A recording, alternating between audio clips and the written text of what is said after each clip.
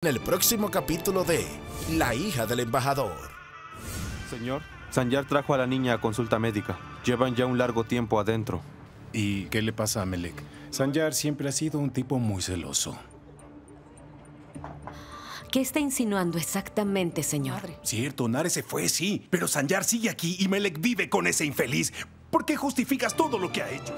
La hija del embajador. De lunes a viernes a las 6 de la tarde. Por Color Visión. Siempre lo mejor.